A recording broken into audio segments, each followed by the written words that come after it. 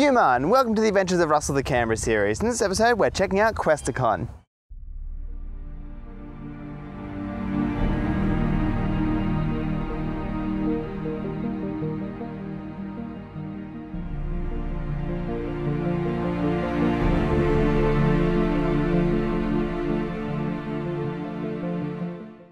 With a passion for teaching science to students and the public, Dr. Mike Gore, a physics lecturer from the ANU, was inspired to create Questacon after a visit to the San Francisco Exploratorium in 1975.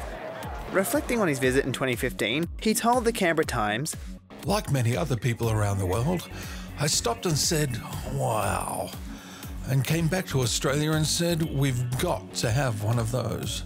Upon returning to Canberra, he set to work figuring out a way to develop an interactive science centre for Australia.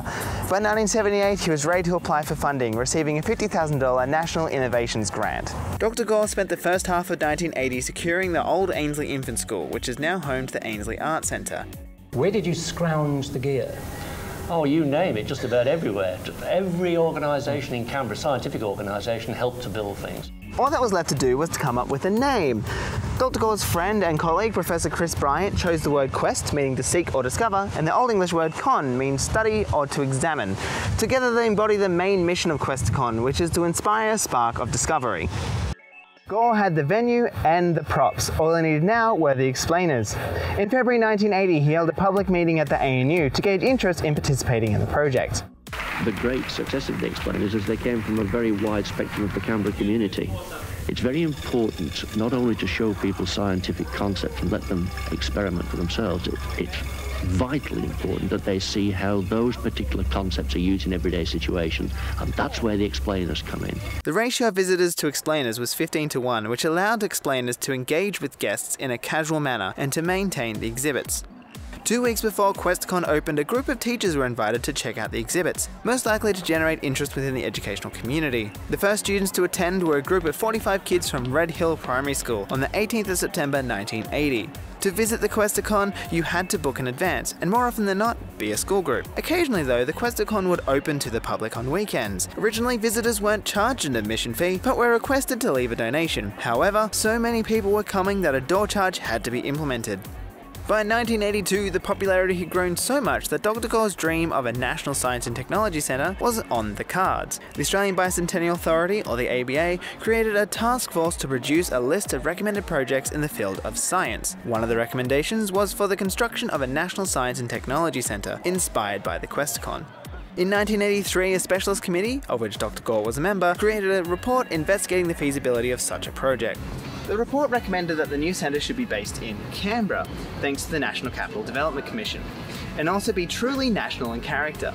To do this, it would develop travelling programs that would reach everyone from regional areas to the cities.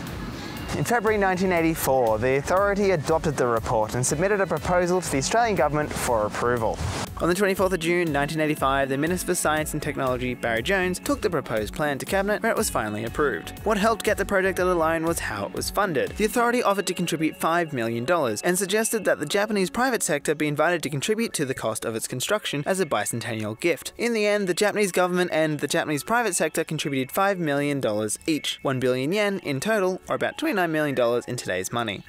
While the ABA and the government hashed things out, the Questacon hired a removalist truck, packed up 25 of its interactive displays, 10 science explainers from ANU, and travelled to Goulburn to set up shop in Bourke Street Primary School. This was a trial to see if a travelling science circus would be worthwhile. The trial was a success, and the travelling science circus has been a fundamental part of Questacon ever since. A couple of months later, Shell, the fossil fuel giant, came on board to sponsor the circus. Shell continued to support the circus until 2022, when federal funding was granted to make up the shortfall once the partnership ended.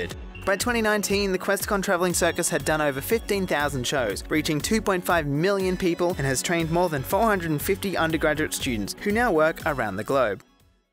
The circus was up and running, but a location for the National Science and Technology Centre had to be chosen. The National Capital Development Commission was tasked with finding a suitable site. There were four possible sites. Three were located in Civic, close to the ANU, but the sites lacked adaptability, displaced cars, or made the institution too local instead of national in character. The site that was chosen is where Questacon sits today. It was chosen as the first step in the development of a mall, which never came to be and is why the original entrance faces the National Gallery. It was also perceived as a chance to liven up the parliamentary zone and give it an urban presence. In order to start construction, both houses of parliament had to approve the site under the Parliamentary Act of 1974. The Act defined the parliamentary zone and the approval process for new work. With the site and funding in place, all that was left to do was to design the building. Lawrence Nield and partners were hired by the NCDC to create a design brief, design the building, and oversee construction. Lawrence Nield and partners had a unique opportunity, as science centres were often placed in existing buildings, such as warehouses or aging exhibition halls. Science centres also looked to the future. With that in mind, the concept they came up with became about cubes, cylinders, and a never-ending ramp. Four cubes were placed in a space of six with a rotunda cylinder in the center. Three of the cubes would house five galleries, and the rotunda would direct the ramp and act as a central point for guests to orient themselves when moving between the galleries. Another benefit was that if a gallery was closed for whatever reason, guests could still move on freely without interruptions. The fourth cube would house the administration, and the space between the cubes would hold the lifts, toilets, stairs, and lounges. The foyer would become part of the public space of the Parliamentary Triangle, allowing the people to visit the restaurant and science shop without buying tickets. So I've been very lucky to get my hands onto the shovel that Bob Hawke used to turn the first sod of soil for the National Science and Technology Centre on the 30th of May 1986. It's a sturdy shovel and as you can see it's quite shiny and they keep it in their offices ready for any time that some very generous minister wants to give money to Questacon to expand. Earthwork started the very next day and construction was quick. The National Science and Technology Centre had to be built in time for the bicentennial celebrations in 1988. The construction of the centre was a masterclass in project management and adaptability. The final plans weren't even finished by the time construction began. Through consultations with the National Capital Development Commission and architects, the building's primary requirements such as mechanical and electrical services and their reinforced concrete structure were sorted out first, allowing construction to begin. The final details will be sorted out later. The building's basic structure is relatively simple. It is composed of reinforced concrete columns and slabs supported by drop beams and shear heads. Once the concrete structure was complete, the roof was installed. Made of mostly steel, the beams were designed to allow exhibits to be hung from them. Once the roof was installed and the walls sheeted, work on the interior could begin.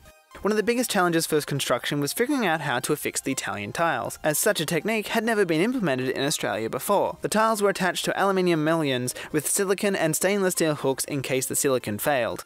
The tiles were one of the first things ordered due to the expertise needed to install them and the long shipping times. As a cost saving measure, the windows for the foyer were double glazed and shading was brought inside to reduce maintenance and exposure to the elements. The budget was so well controlled that if a part of the design would overrun the plan's cost allowances, the project manager, architects, and other consultants would hold meetings to consider simplifying the design to achieve the same result for less cost. This was so successful that $400,000 was saved off the original plan. This meant the science shop and cafeteria could be built. By the time the freshly built National Science and Technology Centre was ready, eight years after Questacon first opened, 800,000 people had visited the original in Braddon. In its first eight months, 365,132 people had visited the new building. Long periods of wet weather and a couple of industrial disputes meant that there were more than 20 weeks of work delays. However, the building was handed over only six days after the planned date on the 6th of July 1988. A 20 page list of defects were prepared, which might sound like a lot, but is actually quite a small amount for a project of this size. All of the issues in the list were rectified within eight weeks. The National Science and Technology staff moved in on the 22nd of July to set up shop for a soft opening on the 10th of October. The National Science and Technology Centre was officially opened on the 23rd of November 1988 by Prime Minister Bob Hawke. As you know, this centre is all about hands on scientific experience, and it is now my pleasure, in the hands on spirit, to declare open the National Science and Technology Centre.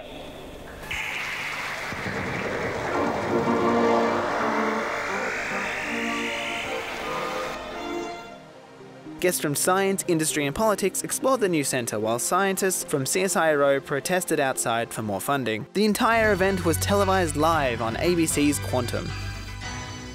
Today, the building is still called the National Science and Technology Centre, as the Science Minister Barry Jones felt the name Questacon was too childish for a national institution. Dr. Mike Gore had the last laugh, however, as Questacon is globally recognised as Australia's science centre. Today, Questacon has a range of exhibits, When the new site first opened though, Mike and his team struggled to fill the exhibition spaces, but they made it work. In Gallery 1 on the top floor housed the IBM Mathematica exhibition, which explored the impact of maths and simple computing principles. Today it houses Born or Built, our robotic future, which explores the line between mechanics and humans. In Gallery 2, animatronic dinosaurs were brought in from Japan, which by today's standards weren't very accurate. This exhibit wowed guests as the dinosaurs roared and looked around the room in an almost lifelike manner. Today, Gallery 2 is home to Fundamental, where classic science concepts are explored. This is where the harmonograph lives. Gallery 3 At the Forces. Visitors would be pulled, pushed, or twisted to learn about the forces that exist in our universe. Visitors could witness artificial lightning and experience an earthquake. Today is home to Awesome Earth. You can still witness lightning and feel an earthquake, but the earthquake house has been removed and the gallery focuses more on natural phenomena. Gallery 4 was used for the demonstration science shows. Today it functions pretty much the same, but is called the Q Lab. To allow a single explainer to interact with multiple visitors, a donut bench was installed. The former director of Questacon came up with the idea after visiting the Horseshoe Pub in Glasgow. Gallery 5 was the Waves exhibition. It explored all kinds of waves, from sound, light, and radio. Today it hosts The Shed, a hands-on engineering exhibit that allows visitors to play with engineering and design. For visitors below the age of 6, there is Mini-Q in Gallery 6. Gallery 7 houses Excite at Q, home to the freefall, robotic air hockey, and the Rotatron. Today, the drum hosts the moon, but on opening night, it was just an extension of the foyer. In 2013, Questacon needed more space, so they opened the Questacon Technology Learning Centre in the Mint's former admin building. It houses the science communication team, runs innovation workshops, and is where future exhibits are designed and built. Guests from all walks of life have visited Questacon. On a rainy day in 1981, Prince Charles visited, while explainers frantically mopped up all the water that was leaking through the roof. Not only British royalty, but Japanese royalty has visited too. Prince Naruhito visited in 2002 after a visit to the Australian War Memorial. You could say that visitors are destined for great things after they visit. Who knows? You might become king or queen one day. Sadly, Dr. Michael Gore passed away in January 2022, but his legacy lives on through Questacon, which inspires millions of Australians every year. I'd like to give a huge thank you to Graham Durant and the staff of Questacon for assisting me with my research. If you have any memories, feel free to leave them in the comments below. And if you enjoyed this video, feel free to like, comment, and share. And if you want to see more, hit that subscribe button.